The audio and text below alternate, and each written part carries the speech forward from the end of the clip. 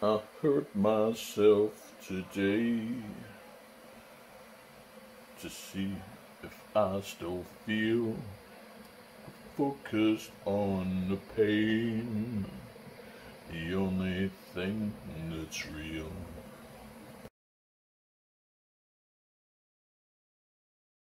He's kicking in. Just kind of builds.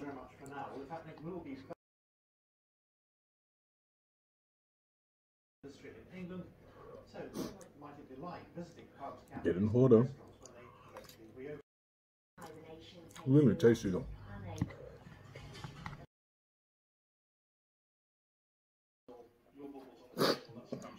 Nose is going.